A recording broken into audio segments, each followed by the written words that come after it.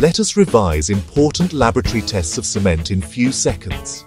Major laboratory tests of cement are fineness test, standard consistency test, initial setting and final setting time test, soundness test, compressive strength test, fineness test.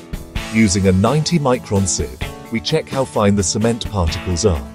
Finer cement means faster hydration and higher early strength. Standard consistency test.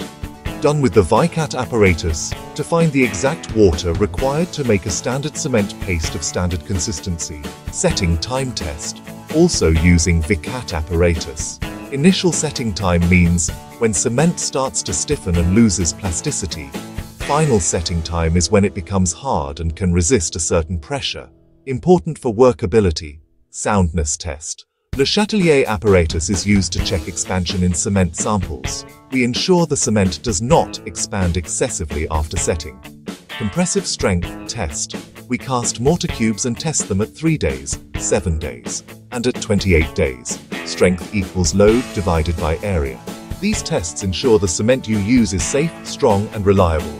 Like, share, comment and subscribe for more civil engineering insight. Thanks for watching.